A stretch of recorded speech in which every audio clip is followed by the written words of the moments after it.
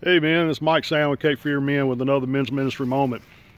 Two of the questions I get asked a lot of times when I'm out talking to men and pastors is how do I get the young men involved and how do I keep them involved?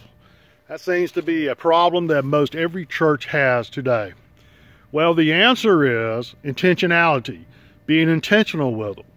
A lot of times these days, just saying something from the from the platform about having a men's gathering, such as a breakfast or an evening meal or even just a game day, uh, doesn't bring your men into these meetings.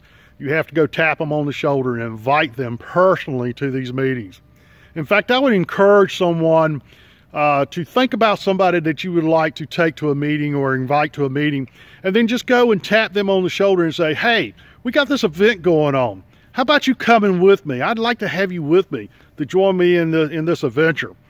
Maybe even, if you can, pay their way and show that they're valued, they're important, they have significance in their life, and you want to pour your life into them.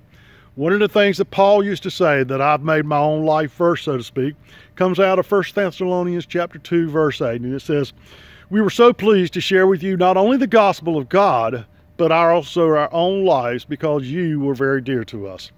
So, guys, if you want to get the young men involved, if you want to get other men involved, including men my age, be intentional.